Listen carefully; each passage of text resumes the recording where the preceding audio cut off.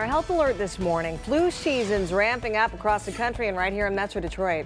The CDC says influenza has been spreading at a significant rate over the past several weeks, with the South and portions of the Pacific coast being hit the hardest.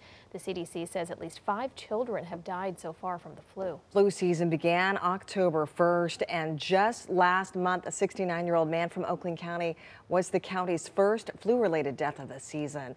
Now, one hospital system is taking immediate action to protect its patients. 7 Action News reporter Ali Hoxie is live outside of Children's Hospital in Detroit with more on the new restrictions that are now in place. Ali?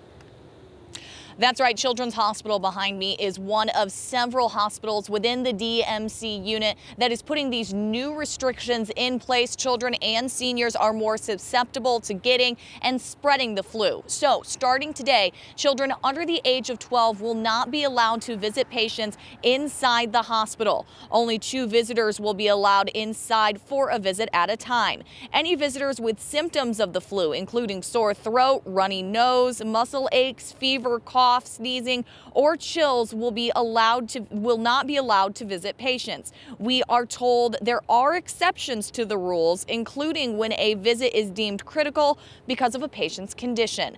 Now, we are told this is all temporary, but as long as these high flu numbers remain, these rules will remain in effect. Ali Hoxie, 7 Action News.